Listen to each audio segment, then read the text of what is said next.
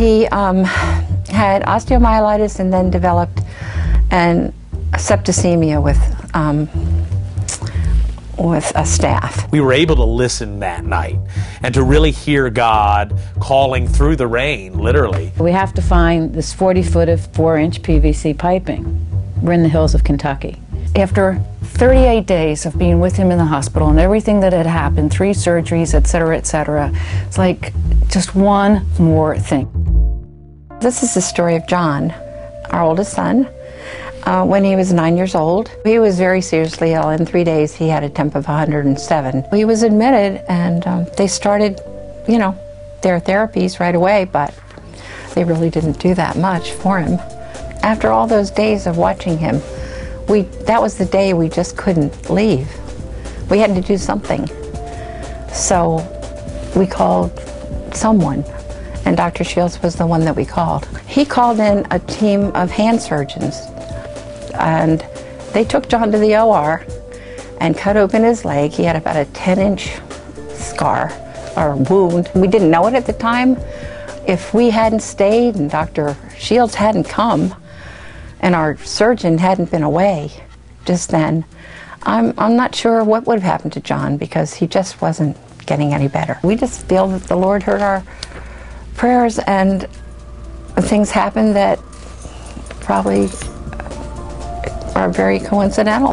And I think if you listen carefully, you know, everybody's in such a hurry. You don't take much time to listen anymore. And, um, and I think you have to have faith that things are going to be okay.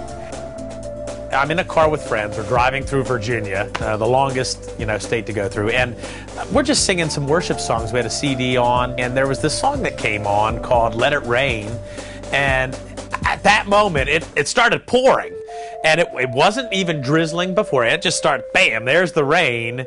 And it's you look around like you know obviously there's this feeling in the car we were already kind of singing and kind of worshiping and you know it just starts pouring out raining when the lyrics say let it rain. God made a promise to us through through christmas through the birth of jesus. And those moments that we have like like the rain really reveal that god is still present and that his promise is being fulfilled in our life. And that that we do have a purpose and a reason for being here. And, and, and that's what's so exciting about uh, being a part of the kingdom of God.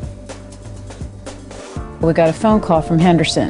Will we put in a ladies' water line? They finally got water up to the mountain. We find out that we can't put continue the water line because there's rock we can't dig through. So we have to find this 40 foot of 4 inch PVC piping. We're in the hills of Kentucky. We call around. There's no Home Depots down there. And we figured out we're going to have to go to Memphis to find the stuff. And we're standing there talking in a BP right next to the dorm. And here's the supplier and has exactly, exactly what we need. At a moment like that, where off the cuff you, you're doing something and you need something specific, it proves to you that it's not coincidental that God is ever present in fulfilling the needs of His people today during my husband's illness, um, he had been in the hospital for 38 straight days and was able to come home. He talked about it in the hospital, and when he got home, he wanted more than anything for me to get a new car. And here he was, you know, just out of the hospital, and yet we went to the car dealership because it seemed to be really important to him that this is something he wanted. We sat at the dealership, we took care of everything. We got home that night, I helped him get undressed and get into bed, and I realized he did not have his wallet. And I had no idea what had happened to it, where it might be. Before I had a chance to call anybody, the phone rang. It was the car dealership telling me that they had his wallet. Compared to his surgeries and the fact that he came through those, finding this wallet might have been a very tiny little thing, but it was huge to me. It was just a reminder that God meets our needs, whether they're great or whether they're small. He's always there, all the time, you know, caring for us. I could have been bitter, I could have been angry and upset through his whole illness, but more than anything, I there was just so many times I was so grateful that somebody was there, that God answered, you know, this situation. And yes, my husband died, but I really believe that that was his plan. And even though I may not always understand it, you know, I know that I can minister in ways now that I never would have been able to before. I think we need to open our eyes and be willing to receive what God has for us and not look at them as coincidences, but God instances.